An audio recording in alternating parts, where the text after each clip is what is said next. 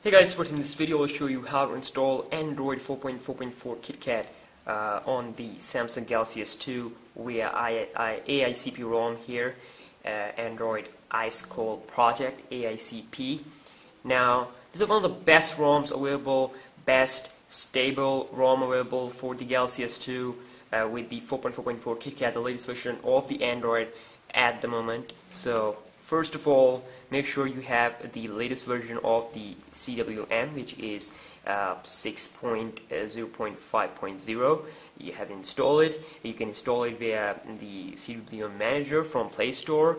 So now, after installing it, uh, you know you have to download uh, the ROM. Uh, the link will be in the description. Uh, downloading the ROM, then download the G apps and place it anywhere into your internal SD card or external or internal. So I will recommend you to place it in internal because I don't have the uh, any you know uh, external memory card in this device. So I will be using the internal memory for this procedure. So first of all uh, for installing any ROM make sure you first wipe and data factory reset. And after doing the wipe data factory reset as you can see I'm doing it okay. Yes wipe all data user. You have to do it uh, but I'm not going to do it because I've already installed it so that's why first you have to wipe data factory reset then you have to choose install zip then you can you have to go from here choose zip from SD card here SD card 0 which means my internal SD card. Internal memory okay? Not SD card it's internal memory now here make sure uh, you know where the ROM has been placed so here we have the AICP i9100 KitKat. You gotta hit the power button and click yes, it will install it.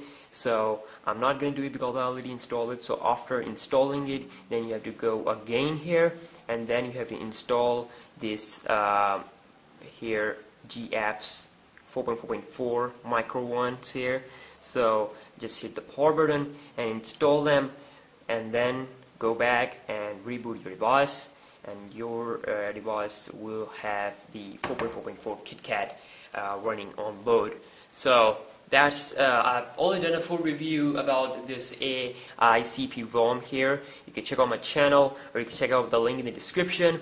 And if you enjoyed this video, do like this video and subscribe and do comment down below what you think about this ROM here. I'm pretty happy about it because it's uh, giving me good battery life. I've been using my S2 for about a week now.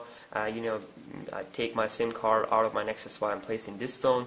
So make sure you check out my channel for this ROM's full review. And it's very interesting ROM here.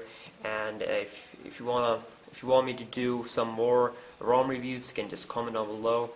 And I will see you next video. Peace.